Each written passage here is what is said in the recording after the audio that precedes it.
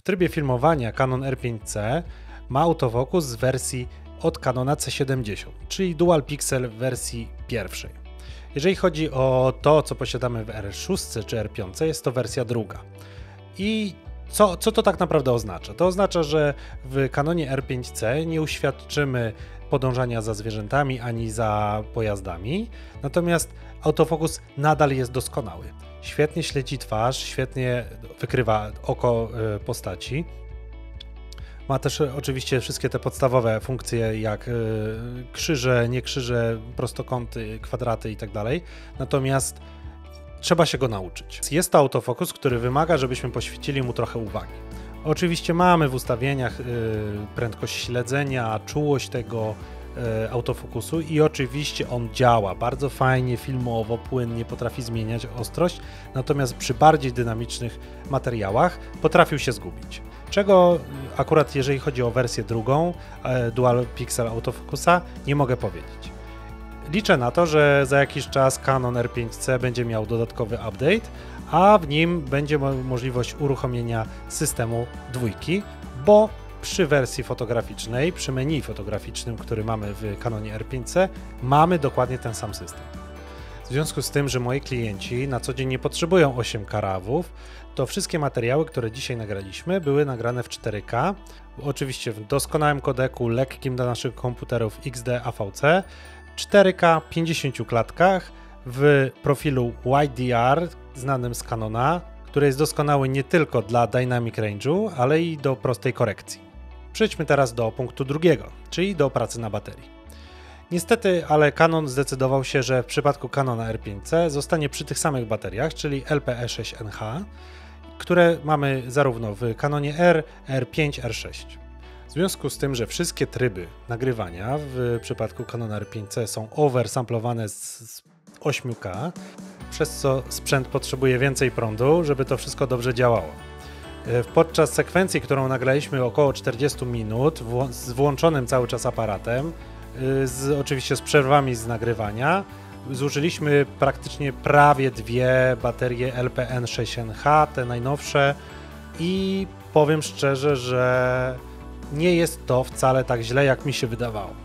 Bałem się, że będą to szoty po 15 minut przy, przy jakiejś większej temperaturze, więc y, myślę, że dwie baterie na 50 minut około plus minus nie jest to najgorszy wynik, co nie zmienia faktu, że oczywiście będą osoby, które będą uważały, że jest to dla nich za krótko.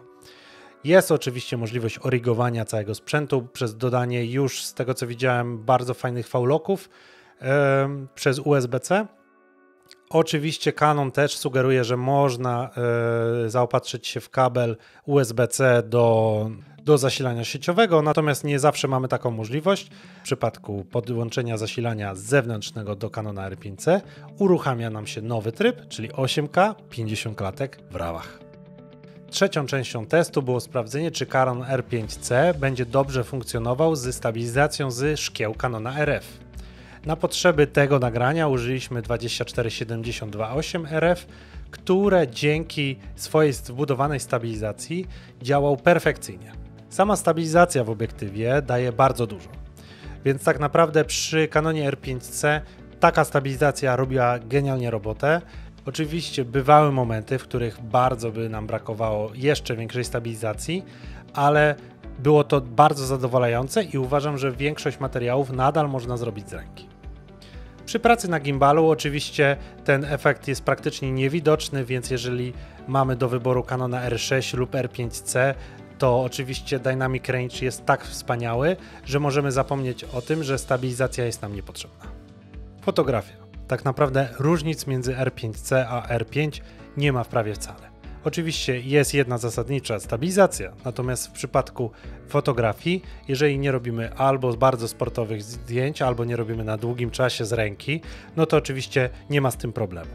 Zdjęcia są oczywiście w doskonałych kolorach znanych z Canona. Menu jest doskonałe, wspaniałe, takie jak zawsze mieliśmy w Canonach, gdzie po prostu wchodzimy i wszystko wiemy, gdzie jest począwszy od starych bardzo kanonów po, dzisiejsze. Tak naprawdę, jeżeli chodzi o zdjęcia, to za wiele się nie zmieniło. Natomiast, żeby nie było tak słodko, to co możemy dodać Canonowi R5C, żeby było doskonale? brak filtrów ND. To, co jego brat większy ma, C70, to wbudowane filtry ND. Tutaj tego nie uświadczymy. Tutaj możemy skorzystać z adapterów EF na RF, które mają możliwość wrzucenia po prostu kołowych filtrów, natomiast wtedy nie mamy możliwości pracy z y, obiektywami RF lub nakręcane obiektywy RF. Natomiast no jedyne ale jest takie, że w niektórych przypadkach nie możemy nałożyć osłony przeciwsłonecznej.